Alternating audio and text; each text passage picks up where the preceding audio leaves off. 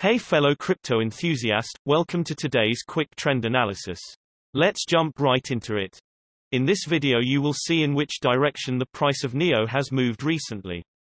Additionally, you will find out what the technical indicators EMA, RSI, Divergence and MACD are predicting about its price and future movements. If you are not familiar with the indicators, check out the explanation videos down below in the description.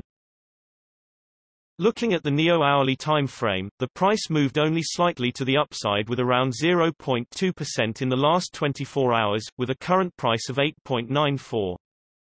Moving to the hourly exponential moving averages, the current price went below the hourly ribbon, so you should see if the price can jump back above the ribbon or it will play as a resistance to the upside currently at around 9.01. Looking at the hourly relative strength index, the current hourly RSI is at 45, so there are currently no signs of the crypto being overbought or oversold. Looking for divergence in the hourly time frame, the price has already gone up owing to the last bullish divergence. Jumping to the hourly MACD, the MACD line is below the signal line, which shows that the current trend is on the downside. We can expect for the price to continue going down or perhaps remain at least stable because the MACD histogram shows the momentum currently being strong. Moving to the 3-hourly exponential moving averages, at the moment, the price is in the 3-hourly ribbon, so you should see if the ribbon could hold support, currently at around 8.9. However, the ribbon is compressed, which means the current trend is not very strong and a trend change could be expected. Looking at the 3-hourly relative strength index, the current 3-hourly RSI is at 48, so it doesn't show signs of overbought or oversold conditions at this point.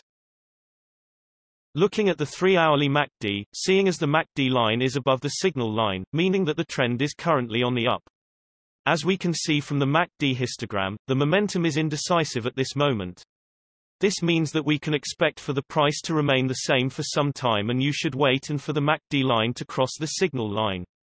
This will mean it's bearish. Jumping to the daily exponential moving averages, the current price is above the daily ribbon, which is generally bullish and the ribbon could play as a support, so it is to watch if the price could bounce off it. The current price to watch is around 8.37. Nevertheless, a trend change can be expected owing to the ribbon being compressed, which means that the trend is currently not very strong. Usually, when the price moves to the side, the ribbon is less reliable.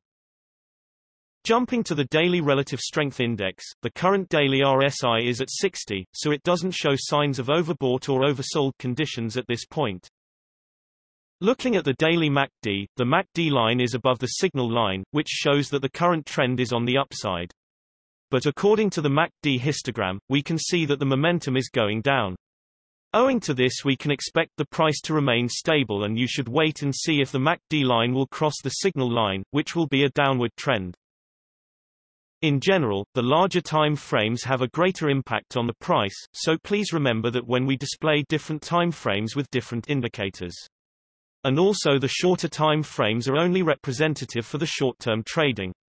Thanks for watching and know that every few hours new videos are uploaded analyzing different cryptocurrencies, so be sure to hit subscribe and not miss out. If you have any questions, leave a comment below and we'll get back to you ASAP. Also, keep in mind that you should make your own investment decisions as cryptocurrency trading is very risky and these daily videos are only an overview of trends and are a purely technical analysis without considering the fundamentals. See you next time.